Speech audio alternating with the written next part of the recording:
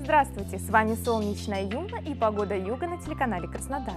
15 ноября – день пушистой нежности. Пушинки тихонько на цыпочках подкрадутся к вам, потрутся о вашу щеку, ласково зашепчут на ушко комплименты. Сразу станет немного щекотно и удивительно приятно. Ведь пушистая нежность просто создана для того, чтобы ласкаться. И от этих прикосновений чего-то мягкого, и от этих слов, которые столь прекрасны, растает на сердце лед – схлынет без следа тревога и напряжение.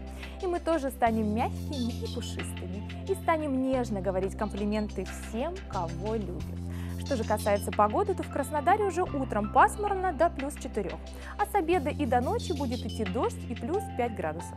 В Ейске на протяжении всего дня будет идти небольшой снежок, и температура поднимется не выше плюс 1 градуса. А в Сочи намного теплее, но на протяжении всего дня будет идти дождь. Утром до 11 градусов, днем 13, вечером 10-12. Украсьте день улыбкой, и он одарит вас успехом и радостью. А спонсор программы – строительная компания «Стройлектор Монтаж».